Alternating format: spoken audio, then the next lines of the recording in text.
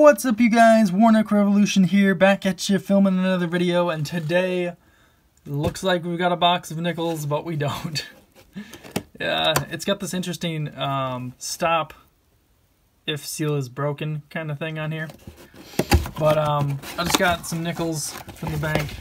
They're uh, machine wrap rolls, and they are circulated nickels, so that's good but it's just $20 in nickels. I couldn't get a whole box, sadly, still with the coin shortage and everything. I can't get an entire box of anything.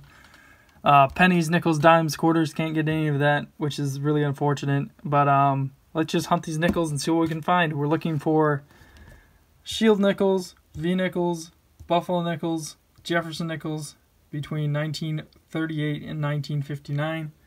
We're looking for war nickels between 1942 and 1945 because they've got silver in them, 35% silver. We're looking for proof nickels. They've got this mirror finish on them. We're looking for blank planchets, so that would be cool. And we're looking for foreign coins as well as some 2009 coins because those are low mintage. But without further ado, let's just jump right into this and see what we can find. Alright guys, first roll I opened, I see this older looking coin. It's got a Denver mint mark right here by the Monticello, which is the building on the back of a nickel. And let's just see if it's something old. Kind of looks old, but it could just be 1964. Let's hope it's not, because they made a lot of those. Nope, it's a 1964. All right.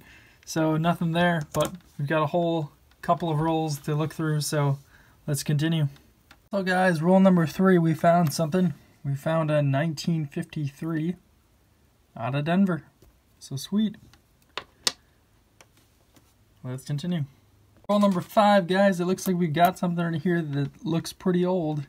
It's got a Denver mint mark on the right side of the Monticello. Let's see if it's anything old. I'm guessing 40s, probably 46. 1949 Denver. All right, I'll take it. It's a good find for sure. Sweet. Let's continue, see what else we can find halfway through roll number six, guys. We got our first Canadian. It's a 1993. The queen on there, crowned queen. Sweet. Good find. Let's continue. Number eight, just opened it up, laid it all out, and a few coins in, we find a 2009 out of Philly. That's awesome. These really don't come up that often. Maybe we'll find one a box when we do hunt boxes, but still, that is a good coin to get. Doesn't happen, like I said, often enough. Anyways, let's continue, see what else can find. Guys, just searching through rule number nine. I kind of saw this on its edge, thinking it was like, hmm, that could be a war nickel. It is not a war nickel, unfortunately. Wait, what? Okay, yeah, it's 1941. Is it a 41? Yeah, 41. Almost looks like a 7. 41 Philly but it was definitely the right kind of color you want to see. Not as dark though as a war nickel, so I'm like, that's got to be old, especially when I saw this, um, the trust peeking out. It was pretty worn down, so I'm like, oh, that's got to be something good. And it is, 1941 Philly. Pretty common coin, but 40s nickels, they don't just come up that often. So they're good to get. Let's continue though, see what else can find.